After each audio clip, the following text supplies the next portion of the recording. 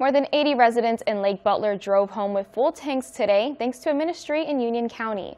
TV 20's Hal Weasel explains why ministry members want to give back.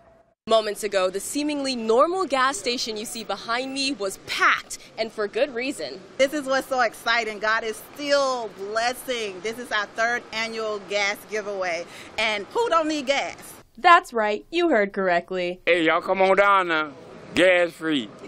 Members of the Community Outreach Working Ministry gave $20 worth of gas to the first 85 people to show up at Sunrise Food Mart in Lake Butler. Union County Sheriff's deputies assisted in traffic control to ensure everyone got their shot at a free tank. We are a community um, revival outreach working ministry, and it's just what it says community working. So we're out here serving our community. We are doing great things through Christ Jesus, blessing people as God is blessing us. Watkins grew up in the church, eventually taking over her father's ministry once he retired. Her mother tells me they ministered in various communities, but decided it was time to come home and give back. It's a blessing to us as well as it's a blessing to the community. Um, it's just following the scripture. It's better to give than to receive.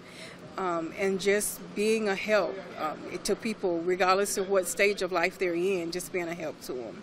The ministry is a virtual organization holding service on Facebook Live every Sunday. Watkins says when they're not live streaming, they're ministering at other churches. For me, the biggest thing is giving to people's needs it's a lot of things that is needed in this community, um, not just our community, but surrounding counties, country. It's a lot of things that the country is going through, and financial is one of them. The ministry also hosts a food drive twice a year. Watkins tells me her dream is to take the ministry and the resources they provide to a global scale. Reporting in Lake Butler, Hawa Ezel, TV 20 News.